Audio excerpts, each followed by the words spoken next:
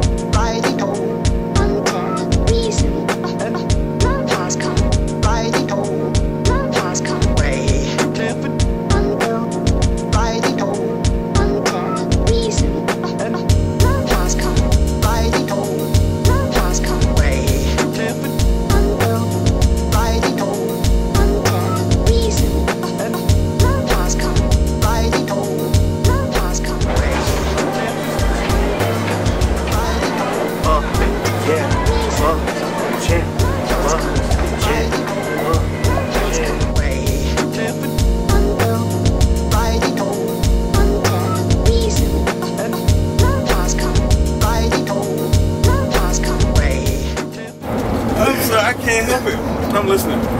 Happy birthday to you. Okay, I get it. All right, here, one more time. Uh,